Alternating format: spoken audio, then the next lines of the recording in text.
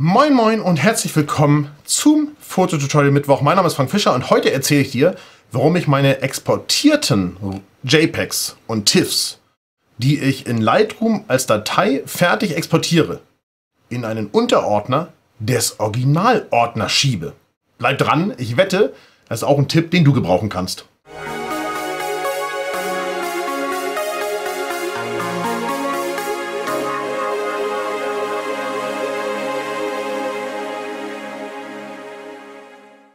Ich freue mich total, dass du wieder eingeschaltet hast. Mein Name ist Frank Fischer, ich bin Fototrainer und Inhaber der FF Fotoschule. Ihr wisst es bestimmt, wir machen unter anderem auch Lightroom-Seminare, sowohl hier in Norddeutschland als auch im Süden der Republik. Schau doch auf unserer Webseite ff-fotoschule.de vorbei und informiere dich danach. Da kannst du mit Sicherheit noch deutlich viel mehr lernen als hier bei YouTube. Und zwar kanalübergreifend, weil du wirst deine individuellen Fragen los. Das sind in der Regel Afterwork-Veranstaltungen am Freitagabend, 20 Uhr, vier Stunden lang Einführung in Lightroom.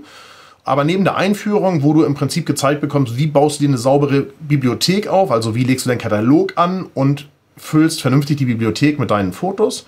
Und was kann das Entwickelmodul, wirst du eben deine individuellen Fragen auch beim Fototrainer los, der ausgewiesener Lightroom-Experte ist. Insofern, ich empfehle dir dringend, das zu besuchen.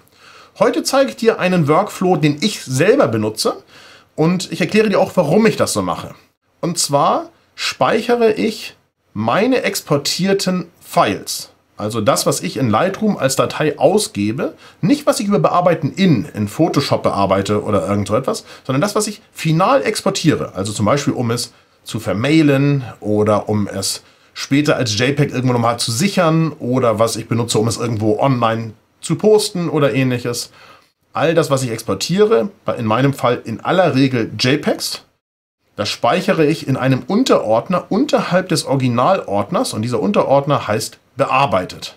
Und warum ich das mache, wie ich das mache und wie auch du davon profitieren kannst, das siehst, sehen wir uns gemeinsam an, wenn ich jetzt hier rüberschalte auf meinen Lightroom-Katalog und wir gemeinsam auf meinem Bildschirm mal gucken, wie sieht es da von der Struktur bei mir aus.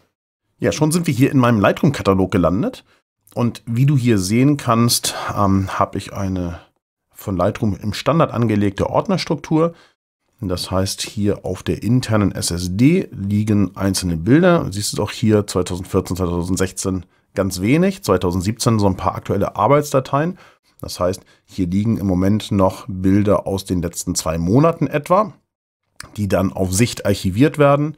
Wenn ihr wissen wollt, wie ich archiviere und äh, wie ich entscheide, welche Bilder überhaupt behalten werden und welche nicht, kann ich gerne mal ein Video zu machen. Schreibt es mir gerne in die Kommentare. So, und jetzt seht ihr hier, es sind noch Island-Fotos, die hier jetzt im Moment ähm, einen Großteil des Bildmaterials auf der internen Platte ausmachen. Von den Bildern, die im Leitungskatalog untergebracht sind. Und jetzt geht es ja darum, warum lege ich die Bilder in einen Unterordner, der da heißt bearbeitet. Als erstes mal könnt ihr nochmal gucken, ich habe ein Video hier auf dem Kanal zum Thema Exportieren von Bildern in Lightroom. Da erkläre ich mal ganz kurz meinen Exportvorgang, da könnt ihr gerne nochmal reingucken. Ich zeige aber auch hier mal einmal schnell ähm, nochmal, wie dieser Ordner überhaupt entsteht. Wir tun jetzt so, als würden wir ein Bild exportieren. Und dann seht ihr hier oben, habe ich ausgewählt, dass die Bilder im gleichen Ordner wie das Originalfoto landen, und zwar in einem Unterordner, der heißt bearbeitet. Also das ist die Voraussetzung dafür, dass das, was ich euch jetzt erkläre, funktioniert. Der muss nicht bearbeitet heißen, der kann bei euch sonst wie heißen, aber in jedem Fall ein ähm, Unterordner im Originalfotoordner anlegen. So mache ich das aus den Gründen, die wir uns jetzt nochmal angucken. Denn jetzt habe ich die Bilder archiviert oder eben auch noch auf der internen Platte liegen und ich weiß genau, ähm, oder vielleicht auch nicht mehr, ich habe Bilder darin in diesem Ordner bereits bearbeitet und ausgegeben mit den aktuellen Entwicklungseinstellungen. Jetzt kann man natürlich sagen, okay, was kümmert mich das? Ich gebe es einfach ein weiteres Mal aus. Natürlich könnt ihr das machen, dann habt ihr aber natürlich sehr viele Dupletten auf dem äh, auf Laufwerken liegen, weil ihr immer wieder dieselbe Datei exportiert. Das möchte ich sehr gern vermeiden. Ich möchte möglichst wenig Dubletten haben.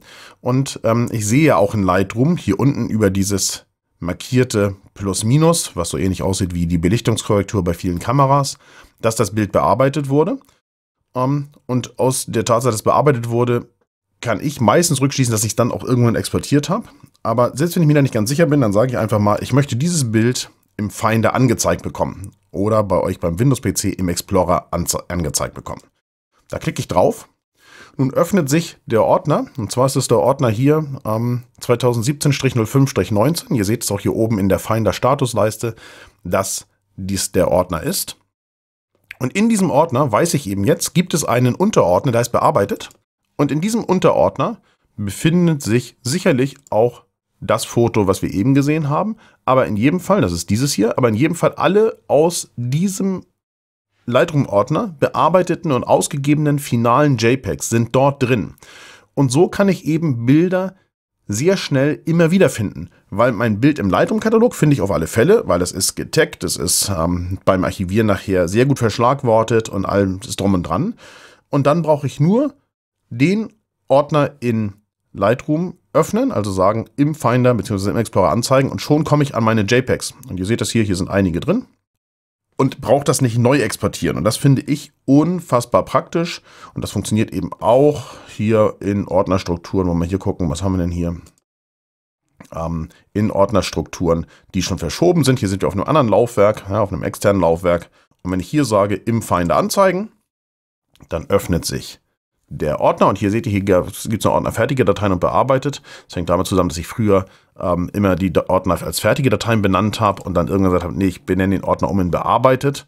Ähm, deswegen sind hier zwei drin, weil die zu unterschiedlichen Zeitpunkten im Prinzip äh, exportiert und damit ähm, diese Ordner angelegt wurden, vollautomatisch von Lightroom. Aber so finde ich eben schnell meine Bilder. Wenn ich jetzt weiß, Achtung, da in Shanghai ähm, als wir abends am Kreisverkehr waren, da habe ich doch bestimmt ein Foto gemacht und das gibt es als JPEG schon irgendwo. Das brauche ich jetzt nochmal, um es jemandem per Mail zu schicken oder irgendwo hinzulegen.